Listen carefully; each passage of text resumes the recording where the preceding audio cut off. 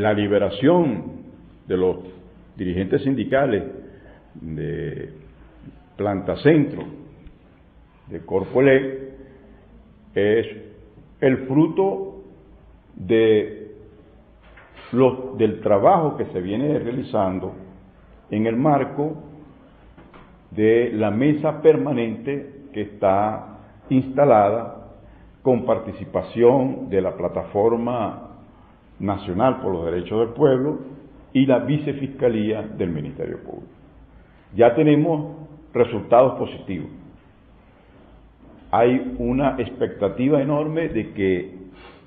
dentro de poco se van a producir liberaciones y decisiones importantes para el movimiento popular, para el movimiento obrero y sindical clasista, y que refleja de una, de una otra manera de que esta perseverante lucha de estas organizaciones está dando su fruto y que a corto y en mediano plazo va a seguir dando su fruto y en ese sentido el, desde el Partido Comunista que hace parte de esas organizaciones de esas instancias, continuaremos eh, dando y aportando nuestro esfuerzo en función de que eso se materialice de una vez por todas. La liberación de otros compañeros, como los nueve eh, comuneros de Barinas, los trabajadores de Alimec en, en Lara, y así sucesivamente con relación a otros trabajadores que sufren en estos momentos de un proceso de criminalización de su lucha y que algunos están detenidos,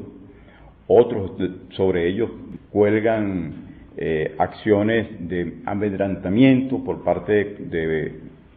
cuerpos policiales y sobre todo eh, dirigentes sindicales que en estos momentos, como lo de Agropatria, tienen, eh, tienen medidas Mm, de casa por cárcel. Y desde la mesa permanente estamos haciendo un serio esfuerzo por